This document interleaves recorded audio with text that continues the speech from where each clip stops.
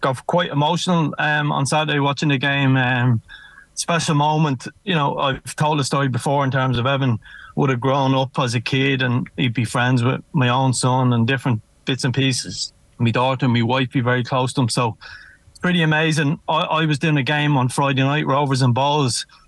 I got a text message off him uh, slagging me off for something I said and uh, calling me a bit of a twat. And um, and then less than less than 24 hours later, the same guy scoring a hat trick in the Premiership. So uh, needless to say, I had a smart answer back. I congratulate him on his two goals he scored in the Premiership. So